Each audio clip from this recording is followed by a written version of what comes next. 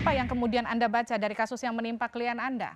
Ada laporan ketidakwajaran penggunaan dana, penyelewengan dana, ada rekening gendut? Ya, itu kan belum terbukti, masih proses. Kita tidak bisa mengatakan itu sudah sudah peristiwa yang sudah terjadi. Saya mau katakan begini, Mbak.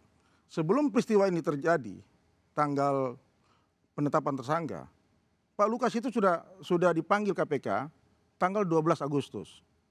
Dalam kaitan dengan apa? Dalam kaitan dengan ini yang saya mau katakan ya. Kriminalisasinya di mana?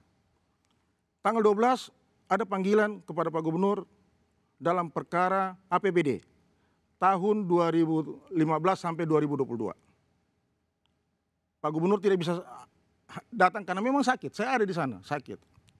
Itu masih penyelidikan. Dengan melanggar pasal 2 dan pasal 3 Undang-Undang Tindak Pidana Korupsi yang berkaitan dengan perbuatan melawan hukum dan penyalahgunaan wewenang mengakibatkan kerugian negara. Kenapa? Oke. Jangan dipotong dulu. Unsurnya kerugian negara. Tapi faktanya Bapak mendapatkan WTP.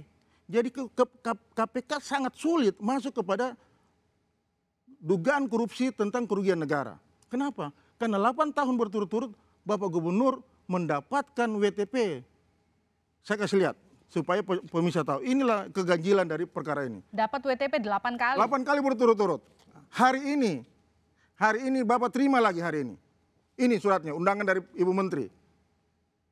Jadi bagaimana bisa Mahfud, Mahfud MD bisa bicara tentang mega korupsi di Papua? Dasarnya dari mana? Pak Mahfud, dasarnya dari mana coba? Ini pemerintah sudah memberikan penghargaan kepada Gubernur Lukas NMB. Dari mana you katakan Pak Gubernur korupsi? Proyek yang mana? Harus dijelaskan proyek yang mana. Pak Roy, tapi kan kalau begitu gini gampangnya. Pak Alexander Marwata, Wakil Ketua KPK, ia menyatakan kalau gitu buktikan aja sumber uangnya dari mana. No, kalau gitu jelasin aja. Bukan kalau itu. bisa bukan dijelaskan itu. kasusnya bukan, bukan, ditutup. Bukan itu. KPK yang menyatakan dia sebagai tersangka berarti dia sudah punya bukti. Jangan dia kembalikan kepada Pak Gubernur dong. Dia kan yang menyatakan Bapak, Bapak Gubernur korupsi nih, mega, mega proyek.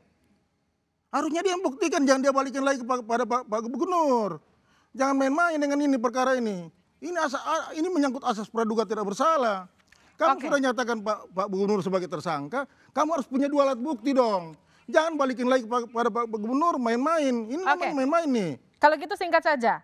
Senin datang ke KPK, ke Gedung Merah Putih untuk diperiksa kedua kali sebagai tersangka. Tergantung hasil kesehatan hari Sabtu. Tergantung hari Sabtu? Ya, hasil kesehatan laporan dari dokter pribadi. Tapi jika sehat? Jika sehat, dia minta datang.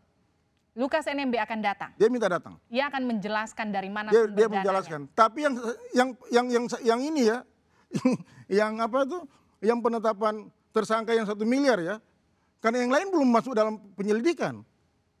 Meskipun sekali lagi saya tekankan, Bahkan tidak hanya Alexander Marwata, tapi juga Mahfud MD, Menko Polhukam menyatakan kalau sumber dananya bisa dijelaskan, kasusnya ditutup. Oke, sumber dana yang dalam perkara ini adalah satu miliar. Ya, dalam perkara ini, yang tersangka ini, jangan kita bicara yang lain dulu. Yang satu miliar ini, yang laka, yang laka, Pak Laka transfer. Ini yang dijelaskan. Jangan yang lain dulu, karena yang lain belum masuk penyelidikan belum masuk penyidikan bagaimana kita menjelaskan dalam perkara yang mana. Oke, tapi artinya kita tinggal menunggu. Jika sehat, Lukas Jika sehat. NMB akan hadir Pasti. ke gedung Dia sudah sampaikan sama saya. Pasti. Dia tidak takut. Dia bilang sampaikan sama publik Indonesia, saya tidak takut karena saya tidak korupsi. Baik, kita akan nantikan nanti seperti apa eh, jawaban dan penjelasan ya. dari seorang Lukas NMB.